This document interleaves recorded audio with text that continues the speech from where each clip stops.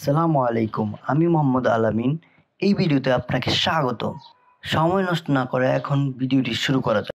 Hyperlink কীভাবে কাজ করে? প্রথমে যদি দেখাতে চাই, যদি আমরা প্রোভাইড অংশটাকে হাইপারলিংক করি তাহলে প্রথমে এই প্রোভাইড লেখাটাকে কপি করলাম। আর এটা যেহেতু আমরা বুকমার্ক প্রথমে করতে হবে, হাইপারলিংক করার আগে প্রথমে অবশ্যই বুকমার্ক করতে হবে।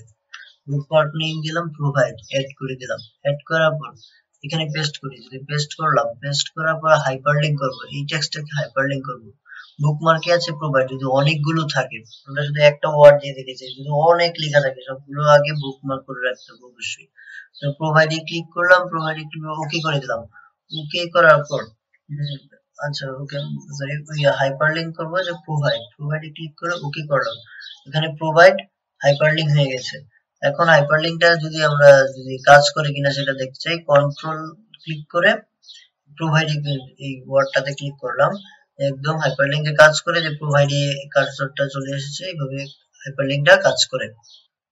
ক্রস রেফারেন্স দেখানোর জন্য এখানে কয়েকটা ব্ল্যাঙ্ক পেজ ক্রিয়েট করলাম, সেখানে কিছু টাইটেল দিলাম যে কম্পিউটার সায়েন্স পরের পেজে দিলাম যে বিজনেস সায়েন্স এন্ড থার্ড পেজে দিলাম ওয়ার্ল্ড ইজ সায়েন্স তো এই তিনটা দেওয়ার পর আমরা প্রতিটাকে কন্ট্রোলে ধরে ধরে সিলেক্ট করে দিলাম।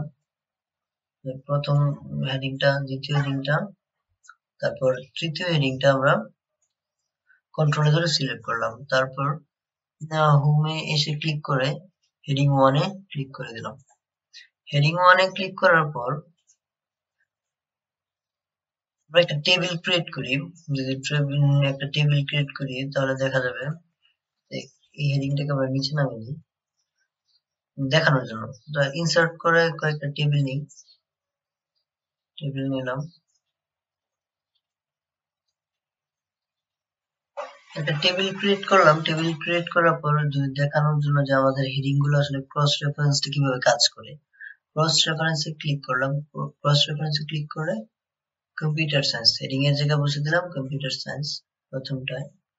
দ্বিতীয়টায় আবার বসে দিলাম ক্রস রেফারেন্স বিজনেস সায়েন্স তৃতীয়টায় বসিয়ে দিলাম। ক্রস রেফারেন্স ওয়ার্ড সায়েন্স আমরা তিনটা হেডিং দিয়েছিলাম। এখানে পেজ নাম্বার যে অটোমেটেড যদি আসতে চাই আমরা অনেক সময় পেজ নাম্বারটা খুঁজে খুঁজে বের করতে হয় হেডিং অনুসারে পেজ নাম্বারটা অটোমেটিকলি বসে যাবে। পেজ নাম্বার যদি দিয়ে দিই পেজ নাম্বারটা যদি বসিয়ে দিই ওয়ান নাম্বার পেজে টু নাম্বার পেজে page number number three number যদি এটা সিরিয়ালে আসছে, কিন্তু এখানে আমরা অল্প সংখ্যক হওয়ার জন্য এটা আমরা বুঝে যাচ্ছি যে ওয়ান টু থ্রি তো হবে। কিন্তু না, যদি এটা আমাদের অনেক দূরে চলে যায়, যে আমাদের তিন নাম্বার হেডিংটা তিন নাম্বার পেজে না থেকে অনেক দূরে একটা পেজে আমরা পাঠিয়ে দিলাম। এখন পেজ নাম্বারটা তো আমরা জানি না। সেই ক্ষেত্রে আমরা যখন টেবিলে আসব টেবিলে আসার পর ক্রস রেফারেন্স দিলাম।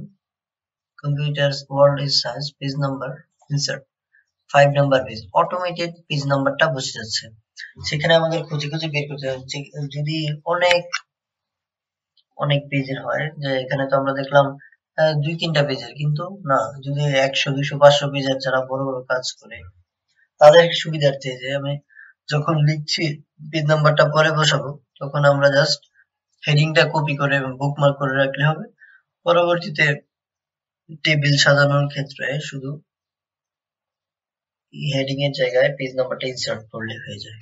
এটা হলো ক্রস রেফারেন্সের সুবিধা। আর এখানে পরবর্তীতে একটা আছে অপশন কমেন্ট কমেন্ট সেকশন থেকে যদি কোনো অন্য একজনের ডকুমেন্ট যদি আমরা দেখি বা তার ডকুমেন্টটা ইভালুয়েট করার সময় আমরা যদি কোনো কমেন্ট করে বসি যে এখানে একটা প্রবলেম আছে, এই জন্য আমরা কমেন্ট করতে পারি। যে এটা চেক করতে হবে বা কোনো একটা প্রবলেম আছে। সেটা যদি আমরা কমেন্ট করতে চাই, তাহলে কমেন্ট করতে পারব। কমেন্ট করতে চাইলে যে হ্যাঁ না you should correct your page number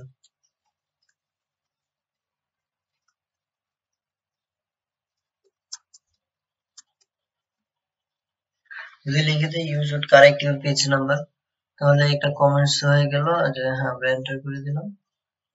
এখানে কমেন্টস লিখে দিলাম। পরবর্তী আবার কার্সর নিয়ে যদি আমরা কমেন্টস করতে চাই, যে হ্যাঁ কমেন্টস তাহলে এখানে আরেকটা লিখলাম how it became page number five right page number five এটা কমেন্টস করে দিলাম, এটা কমেন্টস আমরা রেখে দিতে পারব। পরবর্তীতে তাকে যদি মেল করে বা কোনোভাবে পাঠানো হয়, সে পরবর্তীতে এটা দেখতে পারবে। তার কমেন্টসটা দেখতে পারবে। তারপর কমেন্টসটা দেখেছে ঠিক করে নিতে পারবে যে এখানে আসলে কি, কোথায় দেখিয়ে দিবে যে কমেন্টসটা কোথায় হয়েছে, কেন হয়েছে কমেন্টসটা প্রবলেমটা এখানে ডিটেলস বলা থাকে। তার পরবর্তী আমরা যদি একটা অপশন দেখি header and footer header and footer থেকে আমরা ইনসার্ট করতে পারব header header and footer type here এখানে ব্ল্যাঙ্ক একটা হেডার হেডার নাম্বার যে আমরা যদি পেজ নাম্বার লিখি পেজ নাম্বার এটা যদি লিখে দেই সিলেক্ট করলাম। সিলেক্ট করে আমরা এটাকে ডান দিকে রেখে দেব। ডান দিকে দিয়ে দিলাম পেজ নাম্বার জিরো ওয়ান দিলাম এটা প্রতিটা পেজের হেডার হিসাবে ইউজ করা হবে। আচ্ছা এখানে ডাবল ক্লিক করলে হেডার এটা হেডারটাই আর সবসময় একটু হালকা টেক্সটের হয়ে থাকে লাইট টেক্সট তারপর যদি আমরা দেখি প্রতিটা পেজে আলাদা আলাদা ভাবে হেডার দিতে হবে, যে পেজ নাম্বার ওয়ান পরের পেজটা আমরা ক্লিক করে দিতে হবে পেজ নাম্বার টু এভাবে এগুলো আসবে। হেডার এন্ড ফুটার ফুটারটা নিচে অবস্থান করে আমরা যদি ট্যাক্স দিতে চাই বা তিন ধরনের এখানে কয়েকটা অপশন দেওয়া আছে। থ্রি কলামের ফুটার আনতে পারব। হেডারও কিন্তু ছিল থ্রি কলামের হেডার অস্টিন ইয়া ব্যান্ডেড বিভিন্ন রকমের ডিজাইনেরও ছিল। তারপর ফুটারও এখানে আছে। যে আমরা ডিজাইন করতে চাই মোর ফুটার ফ্রম অফিস এখানে আরও অনেক ধরনের ফুটার আছে। এডিট করতে পারব। যে মোর ফুটারে যদি দেখি, এখানে একটা ফুটার দিলাম। পেজ নাম্বার দেখাচ্ছে টু আমরা থ্রি করে দিই। বা টুটাকে সরিয়ে দিই থ্রি করে দিলাম। এভাবে ফুটারগুলো ইউজ করা যায়। গেলাম। ফুটার ফুটার রিমুভ হেডার সবগুলো চলে গেল হেডার এন্ড ফুটার এখানে পেজ নাম্বার পেজ নাম্বার হলো top of the page page নাম্বারটা কোথায় অবস্থান করবে? টপ অফ দ্য পেজে দিলে উপরে হেডার হিসাবে এগুলো থেকে যাবে। আর যদি অনেকগুলো অপশন আছে পেজ নাম্বার কীভাবে দিতে হবে বটমে দিতে চাই বটমে নিচের দিকে হবে, কোথায় হবে সেন্টার হবে না লেফটে না রাইটে অ্যাসেন্ট বার ওয়ান এভাবেই থাকতে পারে পেজ নাম্বার একটা দাগ আকারে। মোট পেজ নাম্বার অনেকগুলো স্টাইল অনলাইন কন্টেন্ট অনলাইনে আর আসলে নাই, এখানে অনেকগুলোই দেওয়া আছে ডিফল্ট করা। বা টেনে টেনে ডট আকারে হতে পারে। অনেক ধরনের দেওয়া আছে, অনেক ডিজাইনেরও দেওয়া আছে পেজ নাম্বার এটা দিতে পারব। তারপর পেজ মার্জিন পেজ মার্জিনটা করতে পারব। অ্যাসেন্ট বারে আমরা মার্জিন করতে পারব পেজ মার্জিনটা পেজ নাম্বার ওয়ান লেফটে দিতে পারব। পেজ নাম্বারটা আমাদের লেফটে থাকবে। তাহলে আমরা লেফটেও দিয়ে রাখতে পারব। তার পরবর্তীতে পেজ মার্জিন রাইটে হতে পারে ভার্টিক্যাল অনেকগুলোই অপশন আছে। একটু দেখে, দেখলেই হবে। অনেকগুলো অপশন অনেক ডিজাইনের অপশন আছে। পেজ নাম্বারটা এইভাবে হবে।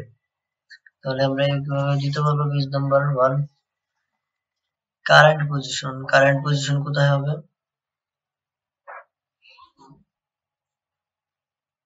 কতগুলো স্যাম্পলও দেওয়া আছে যে যেটা ইউজ করতে চাই। কারেন্ট পজিশন এখানে পেজ নাম্বারটা আসলো। বা কারেন্ট পজিশনে পেজ নাম্বারটা কারেন্ট পজিশনে পেজ নাম্বারটা দেওয়া যাবে। যে আমি এখানে দিতে চাই বা এই লাইনে আমি পেজ নাম্বারটা দিতে চাই, তাহলে কি হবে? কারেন্ট পজিশন পেজ নাম্বার ডিজাইনটা দিয়ে দিলে হবে। এখানে পেজ নাম্বারটা চলে আসলো। অনেক সুন্দর সুন্দর ডিজাইনের পেজ নাম্বারগুলো ডিফল্টে দেওয়া আছে। মোর অনলাইনে অনলাইনে আর অ্যাভেলেবেল নাই। এখানে দিতে চাইলাম এখানে চলে আসলো পেজ নাম্বার দেওয়া যায়। আর ফরম্যাট পেজ নাম্বার এখান থেকে আলাদাভাবে ফরম্যাট করে নেওয়া যাবে। Format number one two three হবে না এভাবে হবে? এবিসি আকারে হবে? যেভাবে দিতে চাই।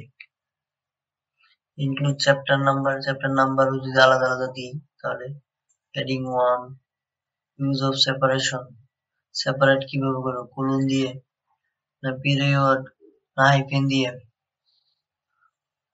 সেপারেট করা যাবে। আর page numbering continue from previous sections না স্টার্টেড পেজ নাম্বারিং কত পেজ থেকে স্টার্ট হবে? অনেক সময় আমরা বইয়ে দেখি, প্রথম চার পাঁচটা পেজে কোনো পেজ নাম্বার থাকে না। পরে পেজ নাম্বার স্টার্ট হয়। যে সাত থেকে স্টার্ট হবে। চার পাঁচটা পেজে কোনো নাম্বার থাকে না? যে সাত থেকে স্টার্ট হবে। ছয় থেকে এইভাবে স্টার্ট করা যায় পেজ নাম্বার পরবর্তী অপশন রিমুভ পেজ নাম্বার এখান থেকে রিমুভ করে দিতে হবে।